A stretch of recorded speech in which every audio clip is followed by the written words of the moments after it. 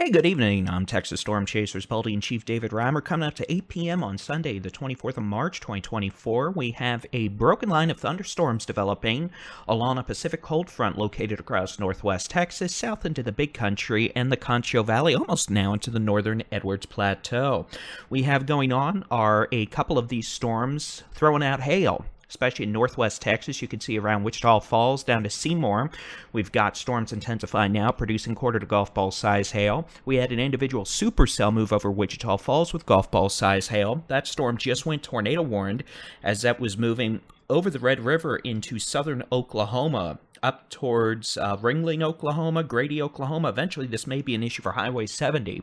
Wilson, Lone Grove over to Ardmore, Mary, maybe Marietta, Oklahoma. But fortunately, that storm is now north of the Red River and not a Texas issue. Uh, did produce a brief tornado southwest of Wichita Falls around 5:30. We also had a couple of brief spin-up tornadoes in the Panhandle earlier, one around Perryton, one southeast of Shamrock. As it goes now, we do expect this line of thunderstorms to continue to intensify over the next couple of hours as it moves east. Let's take a look at the high-res rapid refresh model. And this will show this line of storms is going to pretty much make it all the way to Louisiana and Arkansas by the time we get into late Monday morning and early Monday afternoon. Now, the best chance for severe thunderstorm activity, quarter golf ball size hail, 60 to 70 mile an hour winds, maybe a few spin-up tornadoes will be the next several hours to about 2 a.m. as this line of storms continues to move east towards Interstate 35 in Texoma, North Texas, maybe even parts of Central Texas, including the Big Country, the Concho Valley, Texoma. And again, hazards, quarter to golf ball size hail, especially while storms are kind of discreet right now. Damaging straight line winds, that threat's going to pick up here in a couple hours. Potential for spin up tornadoes. We have a lot of low level wind shear tonight heavy rain, fall cloud to ground lightning.